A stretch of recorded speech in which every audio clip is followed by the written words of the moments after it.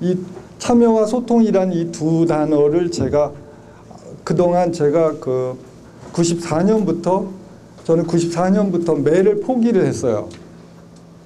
제 수업에서 제 학급 운영에서 그 매를 완전히 포기를 하고 매, 매라는 것을 포기할 때는 이것도 포기해야 합니다.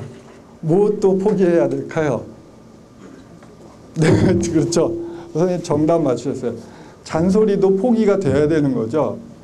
잔소리를 가지고 어떻게 잔소리를 가지면 잘못하면 매보다도 더 심하게 애들 가슴을 점일 수 있잖아요. 그래서 이 두 가지를 어, 포기한 지가 꼭 12년, 만 12년 됐습니다. 그, 그 와중에 어, 사실은 그 두가 그 잔소리와 매를 포기하고서도 과연 가능한가? 그 두 가지 없이 과연 도대체 수업이 되고 학급 운영이 가능할까? 그것을 찾는 정말 지난한 그 가시밭길이었어요, 사실은. 선생님들께서 만약에 이번 요 며칠 연수를 받으시고서 내가 새 학기에 나도 매 없이 잔소리 없이 한번 해보겠노라.